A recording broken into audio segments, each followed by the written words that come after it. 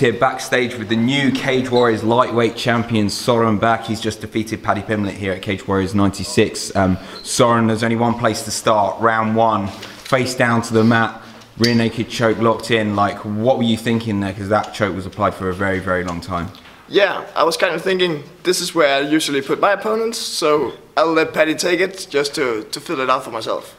And then Paddy got the choke in really tight, and I was thinking to myself, all right, right now you could either tap out, you can go out, or just keep fighting. And I kept fighting.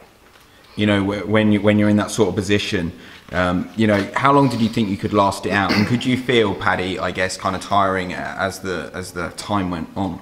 I definitely felt Paddy used a lot of energy, both to try and force the submission and forcing uh, keeping the back. And while I was, I wasn't really using that much energy, other than like keeping uh, my, my throat on lockdown.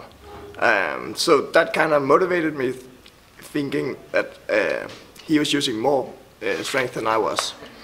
You know, when you go back to your corner at the end of a round like that, like, what, what were your corner telling you, and like, how, how did you get the momentum to shift so much? Because from, from round two onwards, you looked to really kind of take control of the fight. Yeah, I went to my corner, and my, my coach Carsten was like, "All right, so now we are now it's a fight.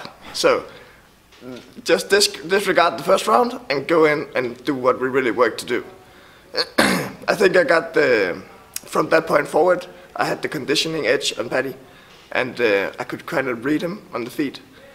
Uh, and obviously I was more aware, uh, both in the clinch and on the ground.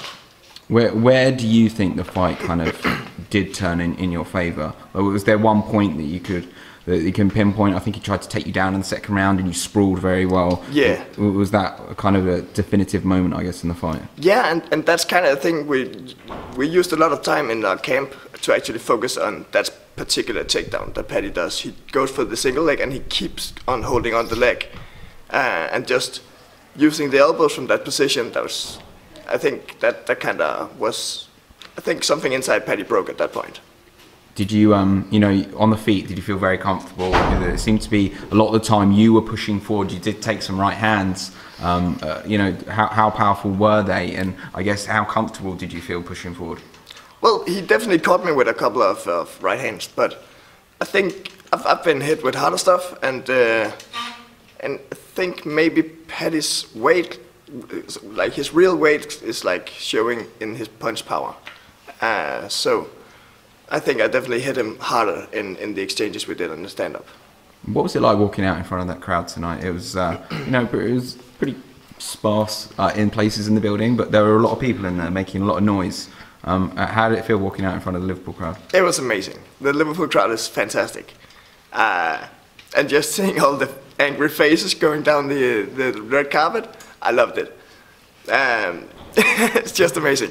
There was one point where they, throw, where they threw money at me in the cage, and I'm like, no, I'm got, not getting paid as much as Paddy, but you can at least throw some, some real money. Don't, don't throw your coins at me.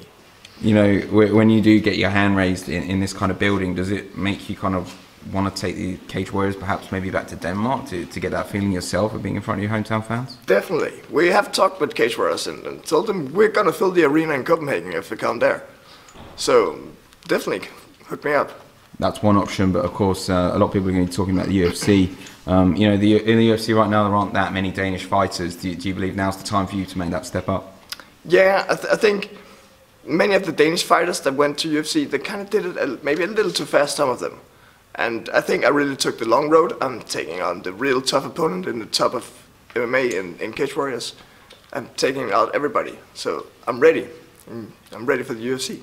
And just one final one. What's kind of the message to those fans that turned up tonight? There, yeah, as I said, there was a partisan Liverpool crowd, but there was also a nice group of uh, Danish people there supporting yeah. you. So, what's kind of the message to those guys with this new belt around your waist?